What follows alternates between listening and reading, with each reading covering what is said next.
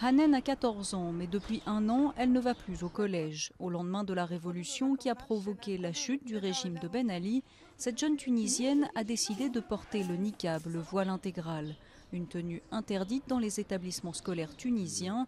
Alors depuis, Hanen ne sort plus de chez elle, sauf pour aller à la mosquée, mais pas question de renoncer au choix du niqab.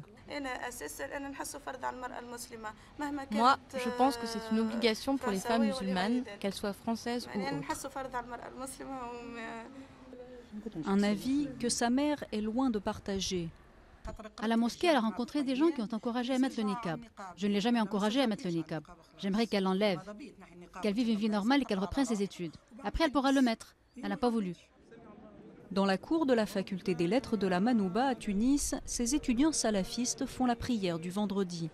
Depuis deux mois, ils occupent l'université, perturbant les cours et les examens. Ils réclament le droit au port du voile intégral en cours et la construction d'une mosquée dans l'enceinte de la faculté. Pour eux, c'est un premier pas vers une application stricte de la charia, la loi islamique.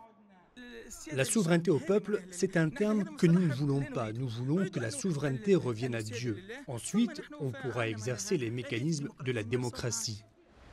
Ces dernières semaines, les incidents se sont multipliés dans les établissements scolaires tunisiens. Impuissants face aux problèmes, les enseignants se sentent abandonnés.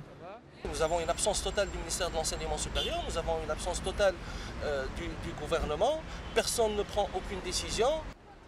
Réputé modéré, le parti islamiste Ennarda, arrivé au pouvoir en octobre, a peu réagi aux récents incidents par peur de s'aliéner la base radicale de son électorat.